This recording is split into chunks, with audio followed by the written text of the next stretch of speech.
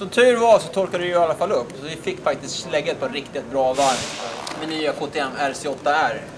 Så vad är det egentligen som är nytt? Jo, det är egentligen två viktiga saker. Dels har man uppdaterat insprutningen. Den är inte alls lika ryckig som den var tidigare på den vanliga RC8-modellen. Och eh, sen har ju såklart motorn också fått 170 hästkrafter.